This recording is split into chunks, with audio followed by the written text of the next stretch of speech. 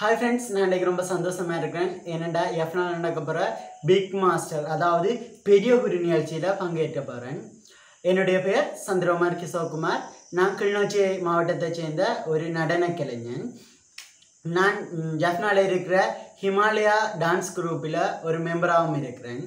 நான் ஜஃப்னாவில் நடக்கிற big master அதாவது பெரிய பெரிய நிகழ்ச்சியில் ஏன் பங்கேற்கிறேன்டா என்னுடைய பல திறமைகளை உங்களுக்கு வெளிக்காட்டணுமென்று தான் அதுக்கான சப்போர்ட்டை உங்கள்கிட்ட இருந்து எதிர்பார்க்குறேன்.